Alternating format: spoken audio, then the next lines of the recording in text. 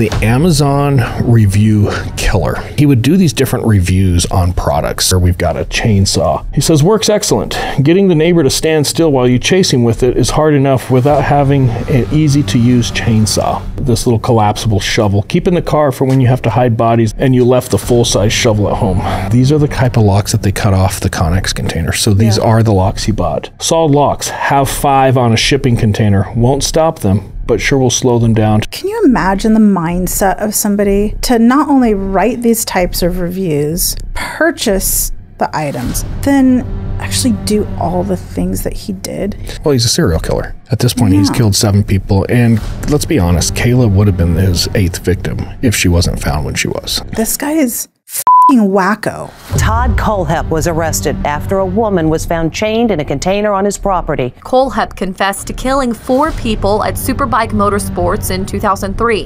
He's like, okay, now it's time for my show. He said, sit back and watch this. Welcome to Socialite Crime Club.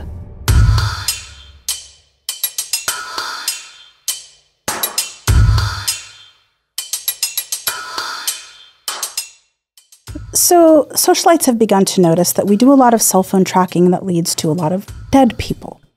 They're asking if we have any crimes that we've tracked cell phones where we find somebody alive. Do you have a case for that? I do. And you know, even a blind squirrel finds a nut now and again. Depends on the agency we're working with.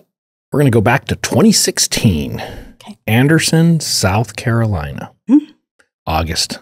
A little humid, a little hot. Hot, sticky. Been to a handful of places in South Carolina along the beachfront. Mm-hmm. Love those areas. I love Nags Head area. I love Hilton Head. Snags fun. Head, South Carolina? I no, I think it's North Carolina. Yeah. Is it? It's I Carolinas. It's in the Carolinas. I know it's really beautiful. Love the beach side. Haven't been inland that far. And in August of 2016, we were teaching a 40 hour basic cell phone investigations course, if you will, with the Anderson Police Department. It's kind of a cool, quaint little town. I'd never been there before, but it's actually, it won me over. It's this really cool, just classic old southern town. Really cool little downtown area. They had some really nice bars. I had a good time. It was a, it was a good week. Did you eat fried green tomatoes? I think I did twice. I have to have those every time we go somewhere in the South And that is like the classic area for them, because right? you never see them on menus on the West Coast. and it is a small town. It's about 30,000 uh, people. I was there, I want to say the last week of August, first week of September of 2016, Monday through Friday. And this is leading into Labor Day weekend.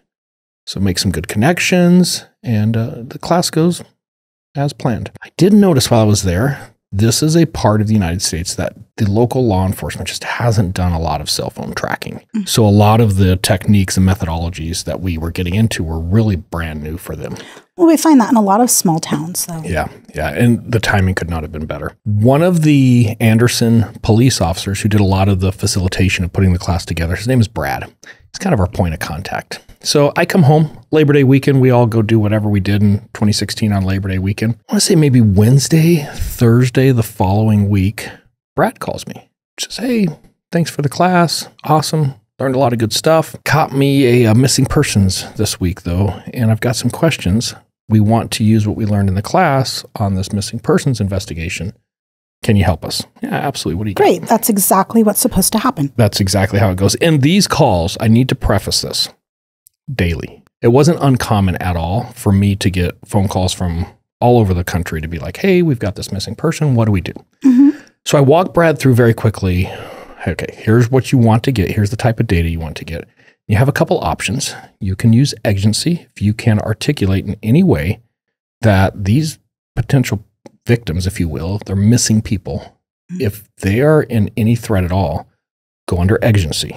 Let's define exigency a little bit more for our socialites. So there is an exception to the search warrant rule, if you will, for getting phone records. And if I can articulate somebody's life is in immediate danger, I can sidestep a search warrant and I can fill out this form to a phone company and say, I, officer so and so, is hereby declaring an emergency. It's a life or death emergency.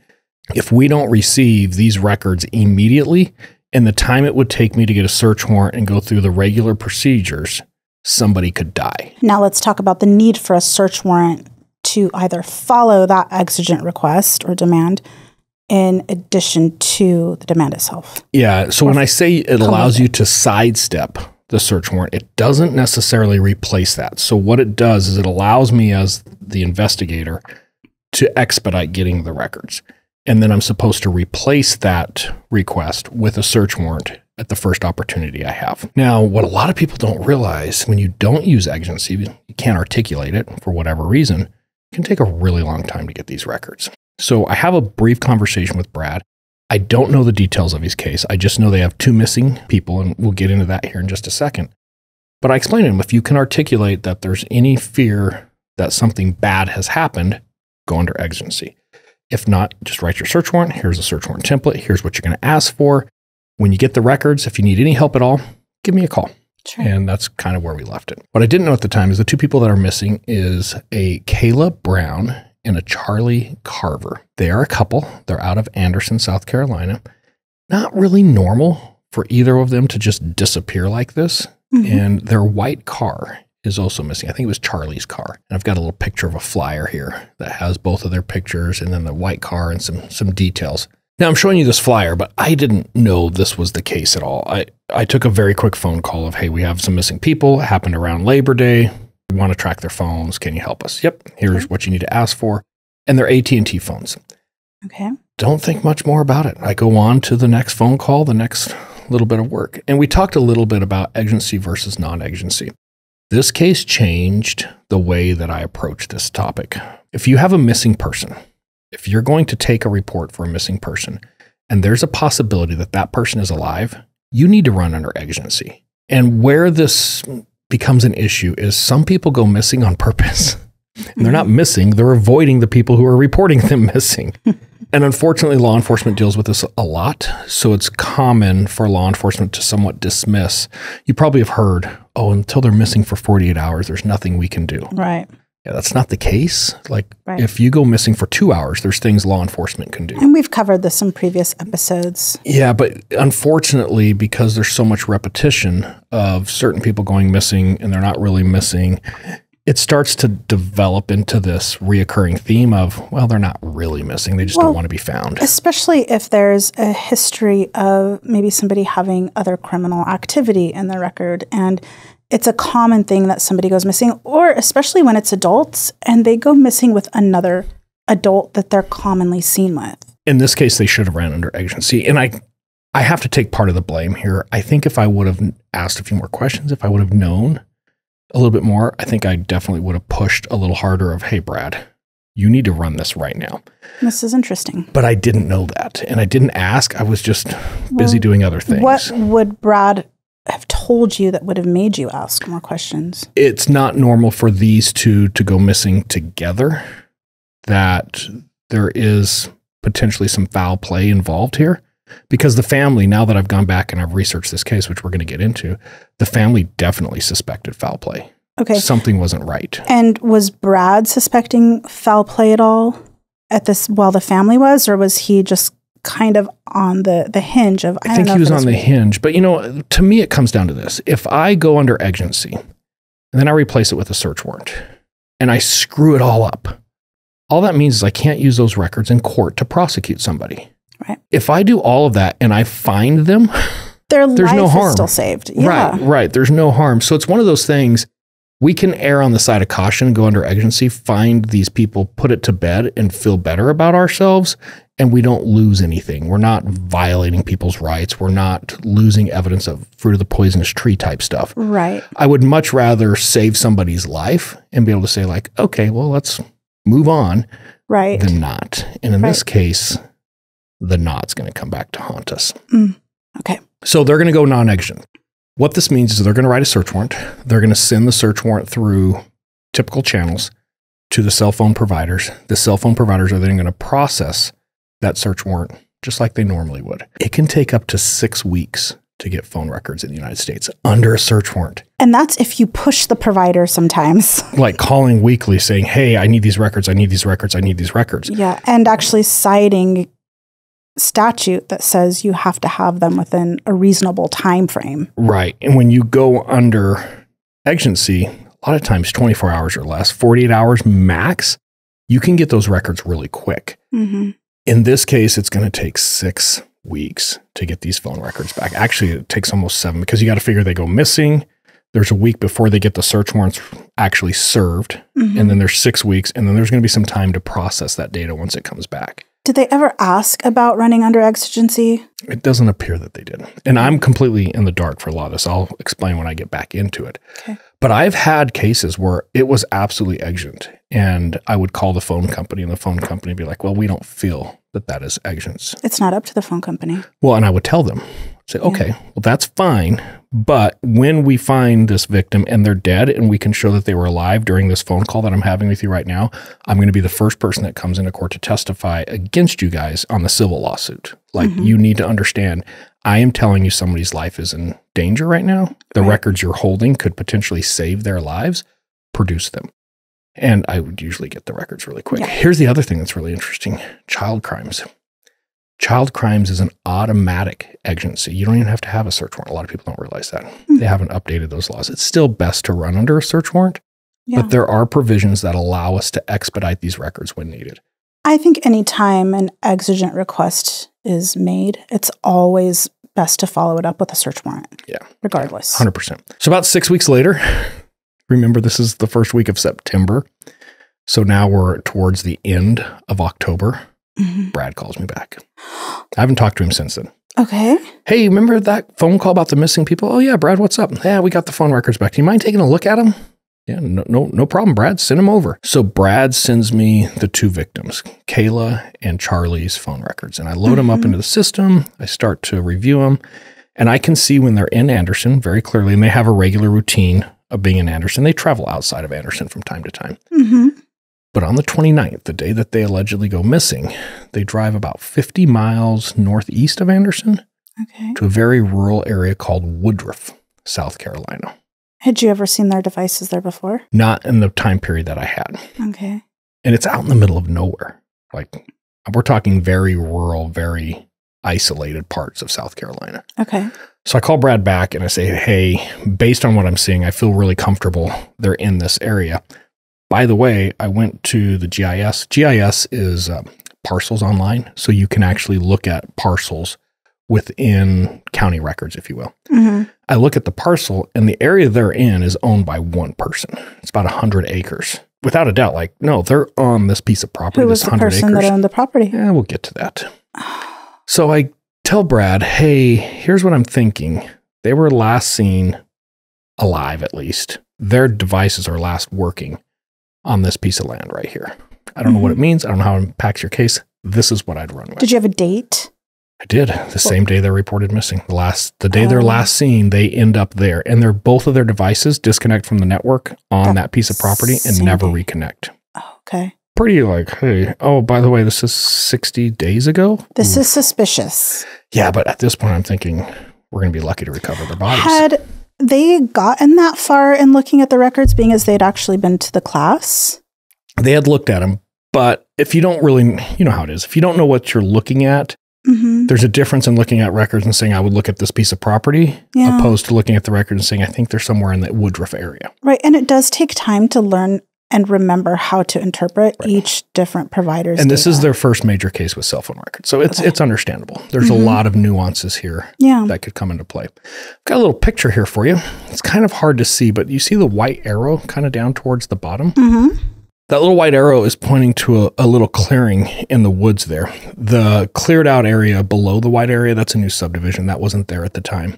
Okay. That clearing that the white arrow is pointing to, there's like a little barn structure right in the middle there. You can probably see it on your, your monitor there. I can. It's too far away. yeah. So the now. open area to the to the north above the white area is part of the property, and then all the trees kind of Oh. north northeast is all Oh. part of it. So it's a Okay. big, heavily wooded area. That is big. Okay. And that's the area of interest that I send back to Brad. And I'm like, I would start here. this Right. is where I would go look. At this point, they start an investigation. They identify the property owner. We'll get to who that is here in just a little bit. They pull the phone records on the property owner as well. Send those back over. So now I've got both victims. How long did it take for them to get the records on the property owner? They went much faster this time, a couple days. Oh, Kind of interesting, right? that is interesting. That's because you had spoke with them. Yes, at this point, we know that, okay, this isn't good. At that point, did you encourage them I don't know how they expedite, and a lot of times with AT and T in this case, because they already have a case open, you can send additional requests to that same person and process With the same open case number. Yeah, process them a lot quicker. So he sends me the owner, the property owner's records back, and on August 31st, when these two go missing, you see the property owner travel to the property at the same time. So they're all arriving at that piece of property relatively within the same time frame, Interesting. except the property owner leaves later that evening. Hmm. Yeah, so kind of interesting there. So let me clear up the timeline here just to keep everybody on track. August 31st is when they go missing. By the time I get the call from Brad, it's the next week. So we're in the first week of September. Six weeks later, we're getting the phone records back. So we're towards the end of October. Takes three or four days to process those records, get the property owner's records, get those records, evaluate that. We're at 61 days, and I want that to resonate. 61 days since they have gone missing at this point. I've got a little snapshot. This was actually one of the exhibits that were created by the agency, uh, Anderson, and it's going to be Spartanburg County Sheriff's Office on this case. And I realize to the average person, it just looks like a bunch of gunk on the screen here. But those colors all represent different phones. And there's a little pin in the middle that says Kohlhepp's Farm. And that's where all these phones come together on the 31st. Now, Anderson PD is who called me, different county. These victims traveled outside of their county into Spartanburg County. So Anderson PD at this point has to do a little jurisdictional update. They drive up to Spartanburg County, meet with the sheriff's department, and say, hey, we have this missing person. We want you guys to look at this. So now you're going to get another delay because now another agency is getting involved and saying, well, hang on, we need to look at this holistically. Mhm. Like, what are you dropping on our doorstep here? They try to explain, hey, we looked at the phones, the phones put them here. We feel there's enough to go off the phones. Spartanburg County Sheriff's Office wasn't sold on the phones per se. So they wanted to do some of their own investigation. Had they gone through training on phone stuff? No, but they come to a class after this case. I do remember that. Yeah. They have a helicopter, so they're going to fly their helicopter over the property. And they believe, based on what they saw from the helicopter, there's a marijuana grow. Oh, It's illegal at this time to grow marijuana in South Carolina. okay. So they are going to operate under the suspicion that they're investigating a marijuana grow. And they're going to secure some search warrants for a marijuana grow. And did they find marijuana on property? No, there's no marijuana in this house. Oh, I want to start taking you through pictures. We got lots of pictures today. Oh, good. Some of these are going to be really disturbing for some people. Number one, it's a big piece of property. I already said 100 acres. In the middle of this 100 acres, there's this barn like two story structure. The bottom is kind of a, a garage area, workshop garage area. And then the top is like a single floor, open floor plan apartment, is the best way I can describe it. It's the only structure on the property? Well, there's two other structures. There's a small shed, and then there's a Connex container, like a shipping Connex container, like the metal you Yeah. put on a train or a boat Mm-hmm. back of a semi. When they get into the apartment like area, of the second floor of the barn, one of the first things they see is there's a bunch of eye bolts, U bolts, and basically there's a bolts that are bolted into the wall with chains attached to them.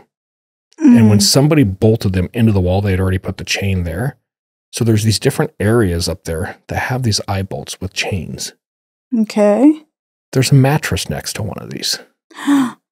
which kind of catches anybody's attention, I think, that why is there a chain on the wall next to a mattress? yeah. Lots of canned food, lots of bottled water. There's a generator. There's no power on the property.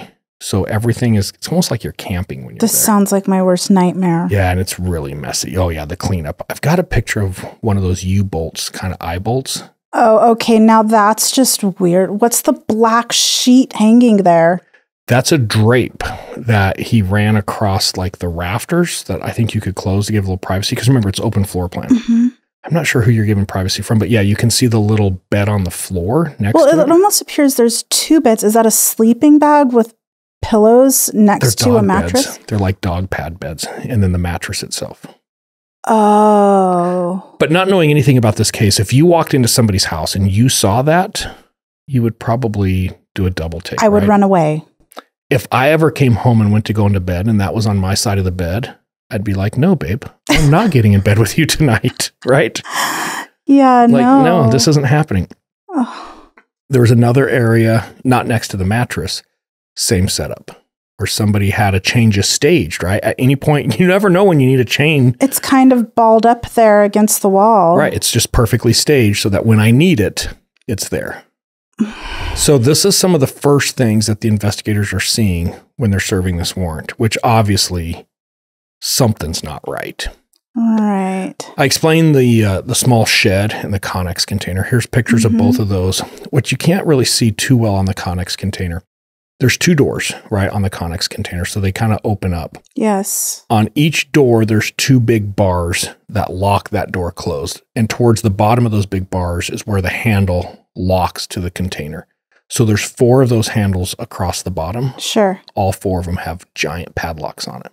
Oh. And if you look right in the center of that, where the two doors come together, there's like a, a metal box attached to it. Mm-hmm. That's where two eye holes come together when the doors close. There's another big lock through that one. For another. And then that metal padlock. box is around it. So you can't even get to that lock. You can only Yeah. look at it from the bottom. to cut it off. It's very difficult to cut Very off. Very difficult to cut off. Yeah. As they're going around this Connex container, they're making quite the ruckus now, right? When you serve a search warrant, you have to announce police department, search warrant. Funny side story. I got sent to training once, Mm-hmm. got shot in the face. We've talked about this a little bit. Well, explain what you got shot in the face with. Uh, it was a blank round, but it was like from me to you. And it totally like tore up my face. I was bleeding all over the place. It was a mess. It was some of the worst training I've ever been to. it was put on by a bunch of military dudes who'd gotten out of the military and decided that they were going to teach law enforcement tactics. Mm.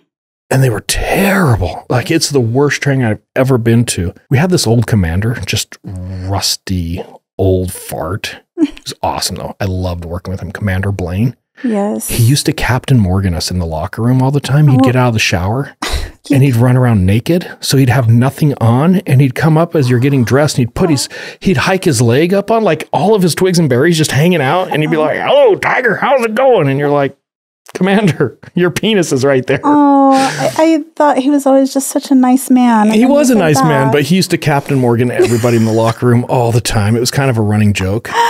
So I'm go to this training. I get shot in the face. They're teaching terrible tactics, and we call him. We're like, please let us come home. The, someone's going to die here. Mhm. He says, Tiger, sometimes the best thing you can learn about training is why you don't do it that way. You'll stay. I had to stay there for two weeks. It's terrible, terrible. Where but- were you at? it was in Idaho, Boise, Oh. Idaho. We were serving a search warrant, like a simulated search warrant was part of one of our exercises. And when our little team did this mock search warrant service, we knocked on the door, we announced police department, search warrant, search warrant, blah, blah, blah. And then we we rammed the door. Does the military typically serve No, no. And we actually got critiqued heavily by the instructors about why would you announce that you're going to go through the front door before you go? That's the surefire way to get shot. And we're like, well, there's this law thing that we have to follow in the United States that we have to announce our presence for a search warrant. Point of my story is is you have to understand at this point when they're I'm showing a picture now of them grinding on one of those locks on the container. You've got a bunch of cops that have been running around this property yelling search warrant, search warrant And they've made their presence known and very clear. well known. They start hearing banging from inside of this Connex container. And if you listen very carefully, you could actually hear a female's voice inside. How close were they to the Connex container when they started hearing this? Do you know? They were just in the air. I think they were next to that little shed. And they're like, wait, hang on. And you could hear the banging much louder than the voice. But when they shut everybody down and told everybody to be quiet, you could actually hear this female voice inside yelling for help. oh my gosh. And again, this is summertime in the Carolinas. It's hot, it's humid. Just nasty, right? Oh, In a metal box. Oh my gosh. So they they actually find a grinder on the property and they start trying to open up this container, but it's actually quite the process because it's locked 15 different ways. Right. And I actually have some video of this. Oh, great.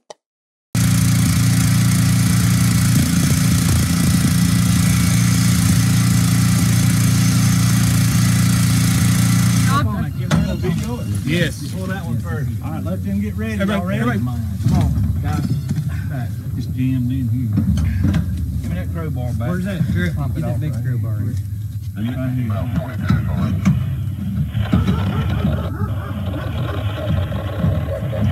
John? Put it right here. Yeah, behind there. There you go. Watch watch out. Y'all move.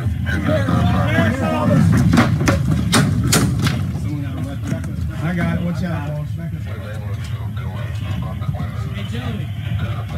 Joey. Sheriff's officer. Sheriff's officer. I need to What? Grab that Back up there. Back Just one. Are you okay? Grab what? Go. Do you have any weapons? Coming through, okay? What's your name? What's your name, man? here. Lauren. Lauren. Gotcha. All right. Just a girl. Just a girl. Just a girl. How are you, honey? This We're is this, bolt is- cutters. This is our investigator. He's a paramedic. I sweetheart. need- oh, yeah. Okay, we're gonna get you out of there. Okay. Just hang loose for me. Anybody got? A, I need a handcuff key. Handcuff key. I don't. I got it right here. Hold up. Y'all slide back. Hold on. He's got, let a me get light. pictures. We got to Let let get pictures. Randy, let, let me see your light, Brandon. You can you can put your hand down, sweetheart. You're okay. We're here. Okay. Just, y'all sit back for me. Light on or off? Get back. We'll get the rest of it here. Let's get her out of here. We're getting bolt cutters, honey. Don't don't. You got pictures of the cuffs? No, hold on. It's both feet. Mm, just one. Let me It's see. attached Is it to a attached? chain on Okay, the wall, okay, and my neck's attached to the wall up here. Okay. All right. All right. We're gonna get you out, sweetheart. Okay. You got a handcuff here. I got no. Mine's in my car. I got no. No, mine's under my car. Gloves on I did that. No big deal. Bolt cutter. No big deal. Just hit, hit the chain right there, loose. Hold it up. Just no, just right there at her hand, Brandon. We'll we'll get it off. We'll get it off here. Cut it right here.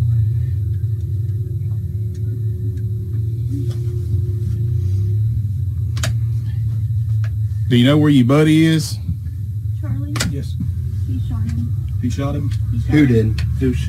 Todd Kohlhepp shot Charlie Carver three times in the chest, wrapped him in a blue tarp, put him in the bucket of the tractor, locked me down here, and I never seen him again. Okay.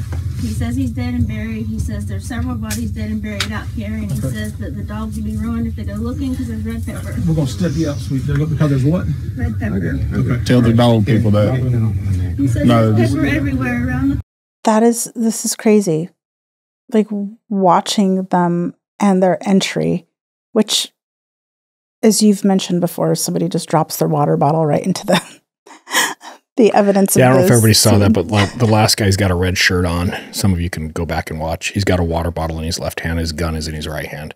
And as he walks in, he drops his water bottle on a chair that's inside. So now he just put a piece of evidence in the crime scene. Not oh, good. Well, I wouldn't want to be one of the guys entering while Behind someone behind me has their gun like ready to go as I'm entering the. And it's a Connex container. It's pretty small. The other thing I always get, and I know this is a very screwed up, very serious situation, but I always get a little bit of a chuckle. It took him a while to find a handcuff key because detectives are known for never having a handcuff key on them. Like you just get out of that habit. Right. So as the camera was moving towards her, I noticed the books that are sitting there on that little plastic drawer thing. What are those books? Do we know? Yeah, so I've got a bunch of pictures. Let me kind of walk you through um, everything here. So let's start with this picture here. This is before they started cutting some of the chain. The mattresses she's on right there, they're not mattresses. It's two different dog beds. So she has been living on these dog beds in this Connex container. And like you said, South Carolina, August, and well, now it's November, but Mhm. she spent all of September there. Uh, she's got blankets, a pillow. She's got this little white shelf system right there. There's a Mhm. couple books on side. I- I've got some pictures of those. We'll zoom into those. But what I want to show with this picture first is she's actually got two chains on her. They're, it's hard to see. She's got one around her neck that's padlocked around her neck. That's the one they cut. She had another one around her ankle, and she actually it was uh, like a a handcuff or a leg cuff, if you will, that's around the ankle, and both of them are attached to different parts of the Connex container inside. So they had to get. That's why they were asking for the handcuff keys to get Mm. that one off of her ankle that you see there. As far as the books go, they're all true crime books. Oh my gosh. So she's reading true crime. She had a lantern. She had some batteries. Uh, in the top shelf there is a bunch of Ritz crackers, and then she's got a jug of peanut butter, some cranberry juice, and then water. But yes, he would leave her there, go home, which he lives about eight to ten miles from here. So he would leave her there nonstop. She'd have to basically take care of herself there, and then he would come during the days, let her out, take her into the barn area, and he was sexually assaulting her on a regular basis, sometimes multiple times a day. She has been victimized literally every day since those 63 days we're at now. Oh my gosh. Right. This poor girl. If you go back to where we started this episode with exigency, under the right circumstances, we probably should have, could have recovered her 10 days max. Max. Max. Yeah. Probably within seven. Oh my gosh. Pretty crazy. So, of- I do have, I'm sorry, I have a question here regarding him like, giving her food and things like that. Oftentimes, these types of perpetrators will allow their victims other little gifts, if you will, like bathing or anything like that. Did she mention in any of her interviews if he allowed her those types of luxuries, if you will? you know, I haven't gotten into a lot of her story, and there's not a lot out there on that. And I don't know that I want to put it out there, be the first one either. There's probably reasons it's not out there. Yeah. So I don't know about a lot of that history. So you probably heard they asked about her buddy. That's Charlie Carver, her boyfriend, who mm-hmm. sh- went missing with her, and he she says, "Oh no, he he killed him, shot him in the chest." They said, mm-hmm. "Who?" That's the first time we hear Todd Kohlhepp. So this is the Todd Kohlhepp property. Hmm He's a realtor in Spartanburg, South Carolina. Huh. And he is the one who's orchestrated all this. And we're going to get knee deep into everything Kohlhepp here in just a few. If you remember the flyer, had a white car on it. Charlie Carver's car was this white Pontiac. Yes. They're going to find the car on the property as well. Okay. And here's a picture of it. It probably looks brown to you. Um, yeah, I see more blue on it. Are those tarps? There's a tarp, yeah. it? There's a blue tarp, but then he he poured either brown paint or brown stain on it to try to hide it. Put a bunch of branches on it. Here's another Oh. picture of when they're pulling it out, and you can definitely see it's the white Pontiac. to blend it into the environment. Right, right. Hmm. So you heard her talk about Todd Kohlhepp. Todd Kohlhepp is the one that she said shot Charlie. At the same time, they're serving the search warrant on his property, this rural property. They're also at his house, which is just outside of Spartanburg, South Carolina. So detectives are actually with Todd Kohlhepp at his house as all this is going down. While they're cutting Kala out of the box. Yeah. So then they confront him and they let him know, hey, we just found Kala. Like, we know what's up.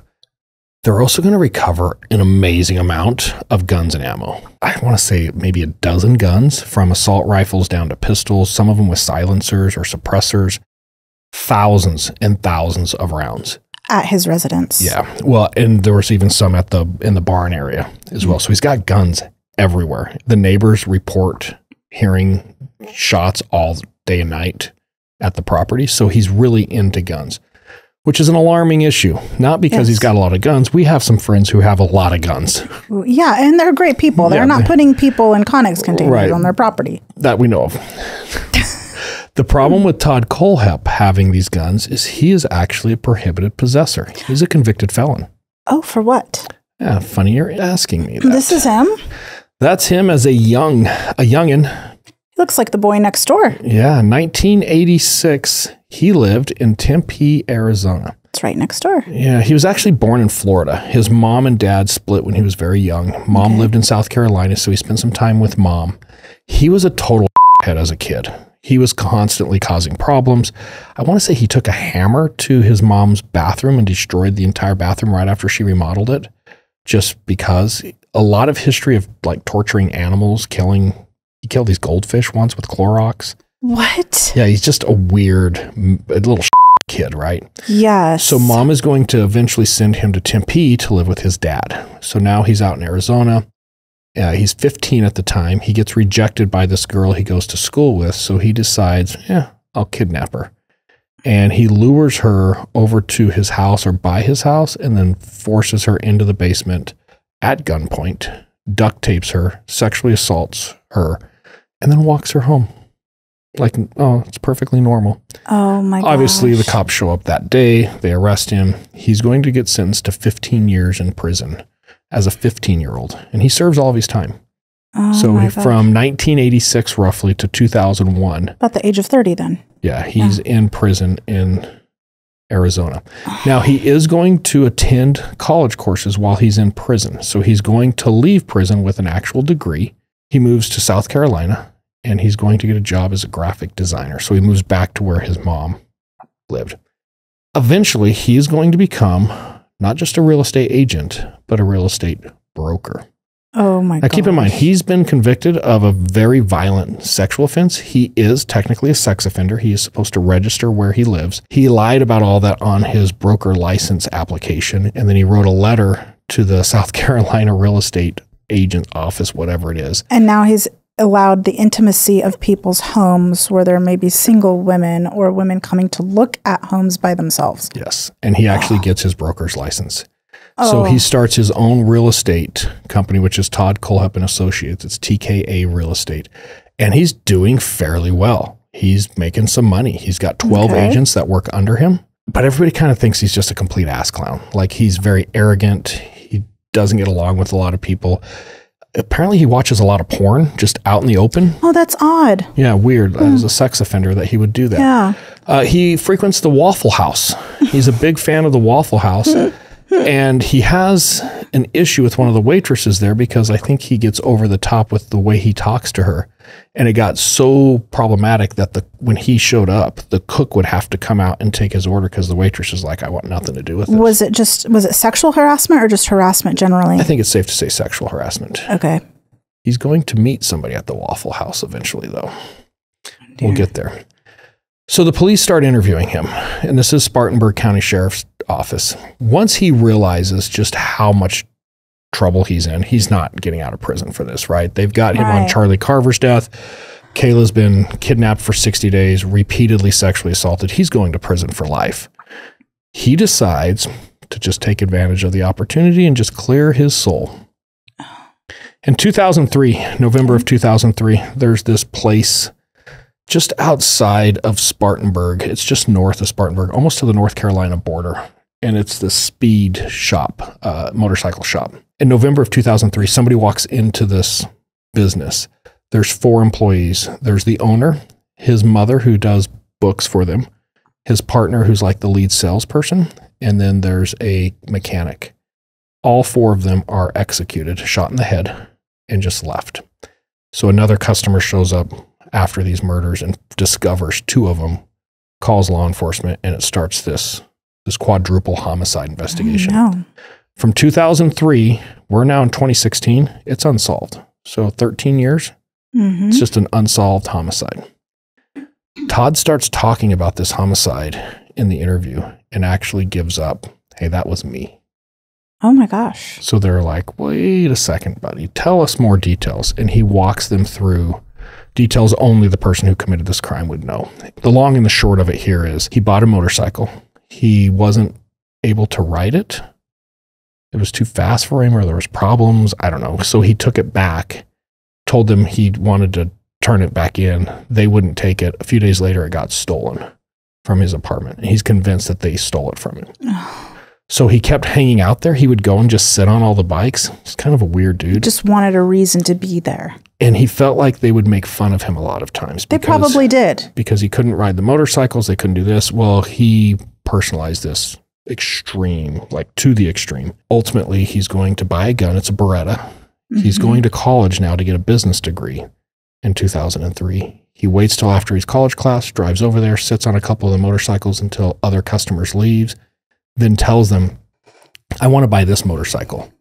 So the mechanic wheels it into the back of the office or the wheels it into the back of the shop here. And when no one's paying attention, he walks to that little back area, executes the mechanic as he's working on the bike. So he's down working on the bike. He comes over the bike, shoots him twice in the head. The other three hear what's happening, start back there. He sees them, shoots the mom first. And in the interview, he actually says she was never the intended target, just collateral damage because she was there. But he almost justifies it. And then he said the other two start running away. And it's it's really cold. The interview's online. You can just Google it and watch it. But he starts to get into they ran the wrong direction. As close as they were to him, they should have ran at him, not away from him because it offered him the ability to shoot them. So he kills both of them. Then he starts bragging that he cleared that entire building in 30 seconds. And he tells the detectives, like, you guys would be proud of me. I cleared that building in 30 seconds. So he, he completely bragging about it. He sees this as a feather in his cap. It's kind of interesting. It's very grandiose behavior. Of, Well, he starts to reveal some knowledge about different types of offenders, if you will.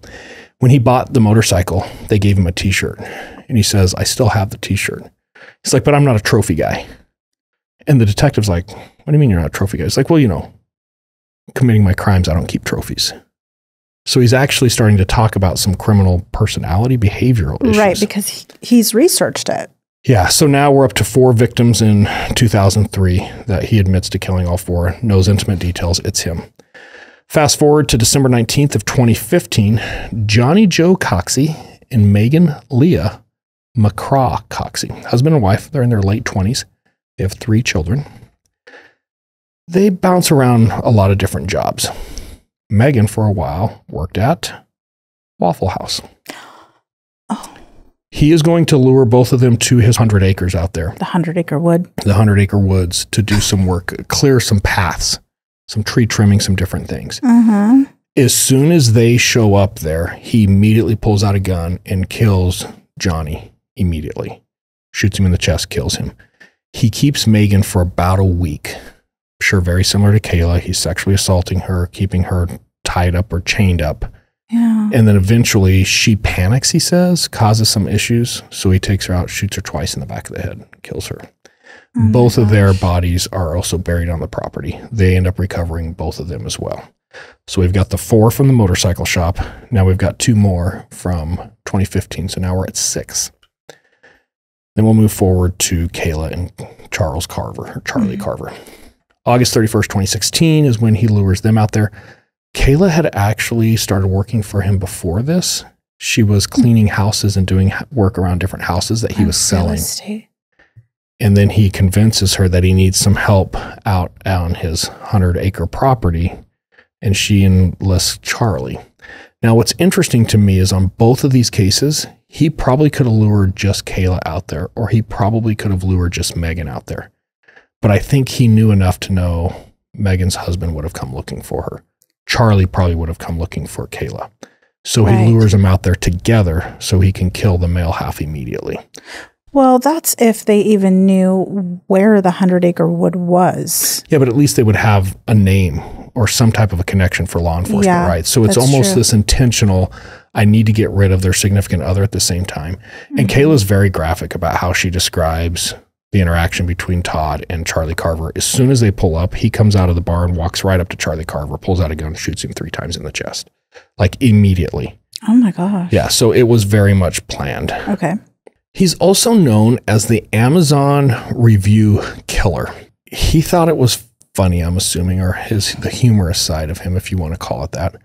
He had an Amazon profile. It was just listed as me, but if you got into the Amazon files, it came back to Todd Kohlhepp. And he would do these different reviews on products. So, for example, here we've got a chainsaw. He says, works excellent. Getting the neighbor to stand still while you chase him with it is hard enough without having an easy to use chainsaw. Did we have actually any reports of neighbors saying No. that he did this type of thing? No, I think he just kind of thought it would be funny to do this. So he's Yeah. got the this little collapsible shovel. Keep in the car for when you have to hide bodies that you and you left the full size shovel at home. Does not come with a midget. Would be nice to have. These locks at the bottom of this one, though, The master put this up. Yeah, these are the type of locks that they cut off the Conex container. So these Yeah. are the locks he bought. Solid locks have five on a shipping container. Won't stop them, but sure will slow them down till they're too old to care. And those are the actual locks that they cut off the container. The keys to these locks were found in one of his vehicles in the garage of his house. So when they served the search warrants and they made contact with him at the house, they seized both of his vehicles. And in the vehicles were the actual keys to the locks on the Conex container, which Wow. another pretty damning piece of evidence there. A couple more reviews he has here. Uh, one is on a knife. Haven't stabbed anyone yet, yet, but I'm keeping the dream alive. And when I do, it'll be with a quality tool like this. So he gets into that. He's got a little uh, light for a pistol here. Um, own three of these. They're excellent. And he's got another review for the master padlock. Same type of locks.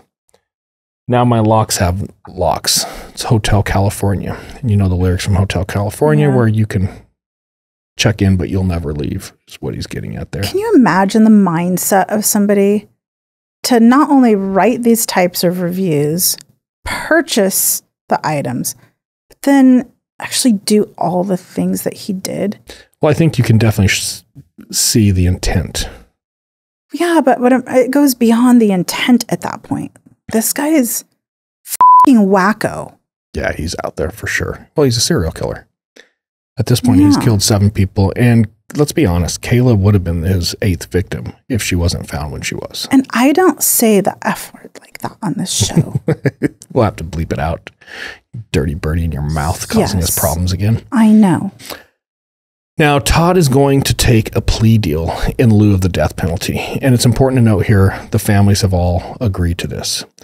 The problem with a, a death penalty is it just opens the door to a ton of appeals. It can take forever.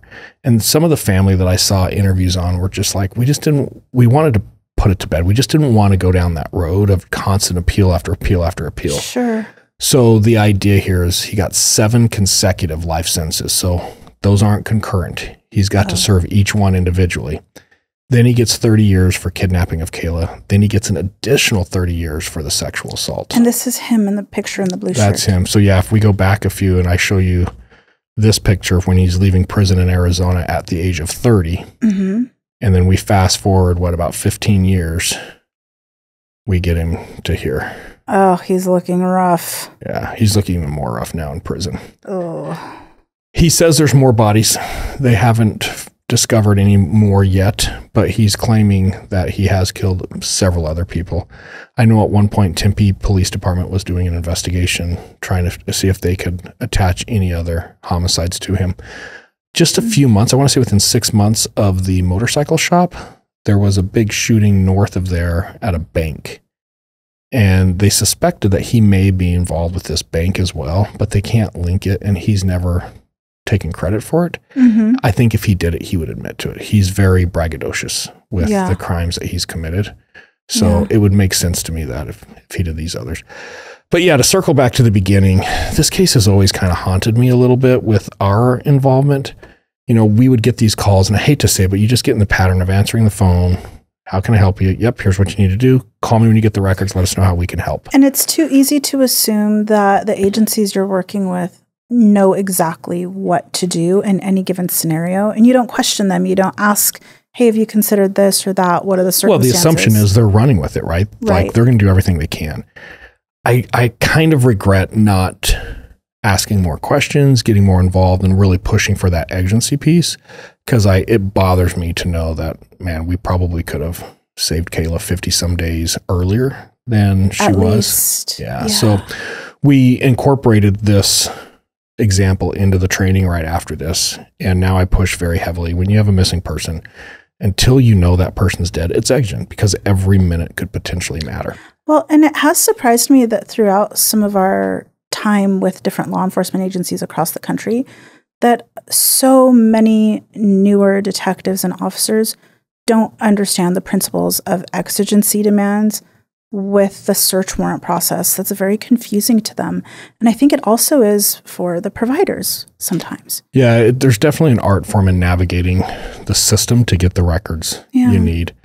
Um, but, you know, the takeaway from our general socialites here, I hear it all the time about, ah, the 48 hours before you can report somebody missing, or, yeah, there's nothing they can do right now. It's all about articulation. If you feel that a loved one is missing under suspicious circumstances, you need to articulate why it's suspicious. This is not in their normal pattern. This is completely unlike them. I am in fear of their life. If you guys don't find them immediately, I'm worried they're going to be killed or they're dying as we speak. Like, light a fire. There is no law in the world that says we have to wait 48 hours ever. Right. There just, it doesn't exist. It's all about being able to articulate. And I think sometimes people may err on the side of caution in those situations. And I think the real takeaway here is if a loved one is missing and it is outside of their normal pattern and you are truly concerned, you've got to get the right people involved. You have to articulate why that's an emergency. Right. And I sometimes feel that the person calling in to report the person may oftentimes hide details about that person's life that they're reporting that they may be fearful to Or embarrassed. exploit to law enforcement. Yeah. And for law enforcement, I would rather get 100 missing people cases wrong, find them too fast, get the records too quick, have to explain why we went under exigency and the person was fine all along. I would rather do that all day long than have this happen. Or what if we were another few weeks delayed and he had killed Kala? Or more people. Right. Yeah. Yeah. So it's interesting. And, you know, I think there's a lot of other things to dig into with this case. It looks, and I don't want to be overly critical here, there were some links that tied him to the motorcycle shop, and he was never seriously looked at. With Johnny and Megan, there were links that tied him to both of them. And remember, he's a prior sex offender out of Arizona for a pretty heinous crime. And he was never looked at seriously in that crime. With Johnny and Megan, did they get their phone records at all and see I don't think they got the phone records, but they knew that Megan had been doing some work for him, very similar that as Kala. So Hmm. it's it's a little troublesome. I think if you really dug in here, he probably should have been on law enforcement's radar much earlier. And then Mhm. obviously you link some of the Amazon reviews and other things. Mm, It's a little it's a little hairy. And like I said, I don't want to second guess all of their investigations, but he is somebody who definitely should have been on the radar. Yeah. Interesting. Wow. Great case. And it's been done. This case has been covered several times, but it's kind of interesting to be able to tell from a perspective of being involved in the investigation what that process was like. Yeah, it's been done by all the major networks. And I can't find anybody who's really questioned the timeline because it just gets explained away as well. It's just this process law enforcement has to go through. Mhm. I know it could have been done six times faster. Like, I wish we would have had that insight then and done it different. But hey, at the long run, Kala's alive. She's well today. Uh, she just sued him, I think last year, or his property, his estate Mhm. and got like a six million dollar settlement. Now Wow, he doesn't have that kind of money, so No. she'll never see all of that. I don't know how much she will see, but she did sue his estate for mental health damages. Oh, good for her. Well, I wonder too if that includes any profits that he might make on telling his story through book rights or movie rights or something Absolutely, like that. it will. They also found the guy who bought all the guns for him. I think there was a total of twelve guns, if I remember correctly. Mhm. So they figured out who he was going through to buy those guns, and they went after him. I want to say he got like eight years in prison, in federal prison, Yeah. for the illegal distribution of firearms. I love that when victims can kind of exact revenge in the way of monetary gains like that, it does not allow the perpetrator to glorify their story Yeah. through telling it or making a book or a movie because they will see none of those profits back Yeah. to them. Yeah, exactly. Well, and his estate won't, so anybody else Right. related to him won't. Yes. Uh, I did see an interview with his mom. I think she's just devastated, and embarrassed by the whole thing. So, and because she's known from day one, he's just a.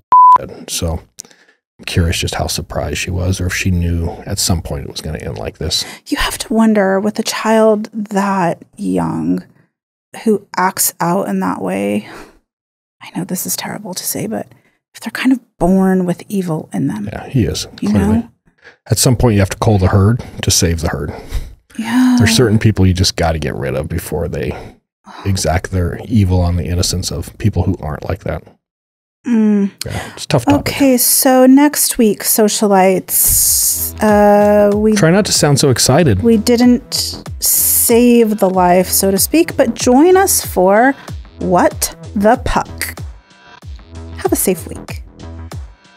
Tom is at the Miller's house during the time of the poker game. Right after midnight, around 12:10, you see his phone leave their house, their neighborhood, drive out, and it's probably about a 20-minute drive to mm-hmm. Caton to his house. There is no way this crime was committed in that gap of time. I can tell you when I reviewed the phone records and some of the details on this case, and I will still say it today. Tom Clayton did not kill Kelly Clayton.